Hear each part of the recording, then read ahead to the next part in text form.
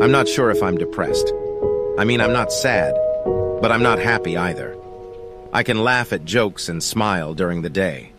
But when I'm alone at night, my thoughts are terrible.